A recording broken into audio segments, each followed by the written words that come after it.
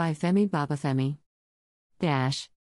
A 56 year old widow and mother of four, Mrs. Ajasidri Kehinde Sidika has been arrested by operatives of the National Drug Law Enforcement Agency, NDLEA at the Murtala Muhammed International Airport, Ikeja, Lagos over her attempt to traffic 400 grams of cocaine concealed in her footwear to Makkah, Saudi Arabia. The suspect, who claims to be a businesswoman trading in adults and children's wares on Lagos Island, was intercepted on Sunday, 13 November, while trying to board a Qatar Airways flight going to Saudi Arabia via Doha. Upon a critical examination of the pair of sandals she was wearing, two parcels of cocaine weighing 400 grams were recovered from them. In the same vein, attempts by a tricycle part seller, Iowade Kande Teo to send 1 kg of tramadol 225 mg and rohypnol to Istanbul, Turkey via Cairo on an Egypt airline flight same day were also frustrated by Lee operatives who arrested him. He was at the airport to hand over the drugs hidden inside a bag of food items to an intending passenger, Idowu Iowade, but was arrested before he succeeded in doing that. An intending passenger to Oman via Ski Airline, Agbamush Brighton Hyonye, and a lady, Adeoye Ayuwakami Fatimo, who accompanied him to present a bag containing varieties of foodstuffs and body lotion which were used to conceal 1.10 kilograms cannabis, and some rohypnol capsules were also arrested at the departure hall of the Lagos airport on Thursday, 18 November. Anti narcotics officers attached to the SAHCO export shed of the airport equally foiled attempts by traffickers to smuggle consignments of cannabis and ecstasy tablets concealed in three tubers of yam going to Dubai, UAE, on Wednesday, 17 November. The freight agent who presented the yams for export, Iniku Ugochi Akana, was promptly arrested while the consigner, Amaju Suleiman, was also nabbed thereafter. At the Brawal container shed of Kirikiri Lighter Terminal in Lagos, NDLEA operatives equally intercepted cartons of deadly drinks in a container marked APSU 3671697 during a joint examination with Customs. Though the bill of lading indicated that the container originated from Cape Town, South Africa, a search of the, the shipper's database showed it was loaded from Antwerp, Belgium.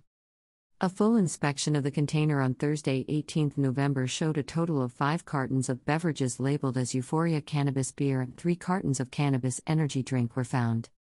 Other drinks in the container include 21 cartons of a drink labeled as monkey shoulder, 20 cartons of dead man's finger, and 139 of champagne fruit, among others.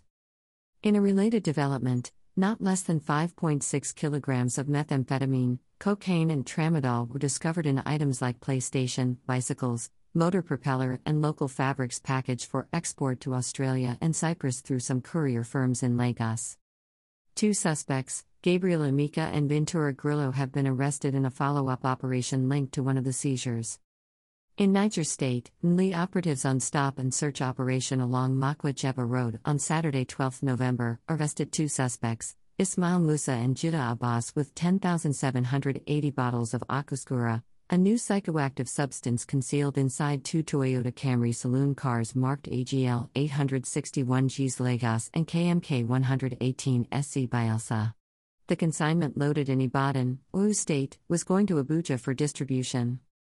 While operatives intercepted 25,000 capsules of tramadol in Plateau and arrested the owner, Ife Anyinwinwe, a beer parlor operator in a follow up operation in Bauchi, pharmaceutical opioids worth more than N 30 million were intercepted in a commercial bus in Asaba, Delta State on Thursday, 18 November. In Ondo State, operatives stormed the Ijare Forest, in Ifedore local government area on Friday 19 November where a total of 600.5 kilograms of cannabis weed and seeds were recovered, while 142.8 kilograms of the same substance were seized when NDLEA officers raided the Zone 3 motor park in Wuse area of Abuja.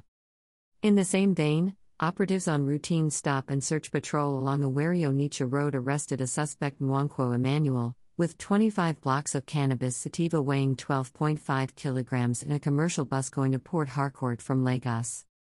In his reaction to the arrests and seizures in the past week, Chairman slash Chief Executive of NDLEA, Brigadier General Mohammed Buba Marwa, retired, CON, OFR, commended the officers and men of the MIA, Tincan, Delta, FCT, Niger, Ondo, and Plateau commands, as well as those of the Directorate of Operations and General Investigations, DOGI, for their passion, commitment, and remarkable efforts to get results in their areas of responsibility.